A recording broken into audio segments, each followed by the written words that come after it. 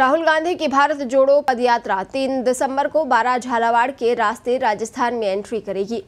इसको लेकर सरकार से लेकर संगठन तक तैयारियों को शुरू किया जा चुका है। कांग्रेस सूत्रों के अनुसार भाजपा जोड़ो पदयात्रा के राजस्थान चेयरमैन विभाकर शास्त्री जयपुर आएँगे।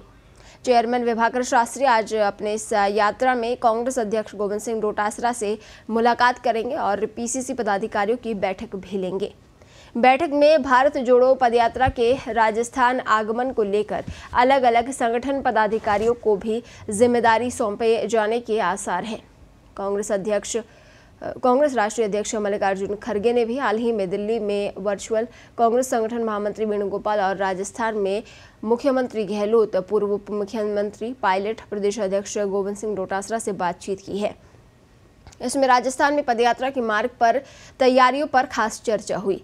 राजस्व मंत्री रामलाल जाट और राज्य पर्यटन विकास निगम चेयरमैन धर्मेंद्र राठौड़ ने भी भारत जोड़ो पदयात्रा के मध्य प्रदेश से राजस्थान में आगमन स्थल झालावाड़ ज़िले का दौरा किया।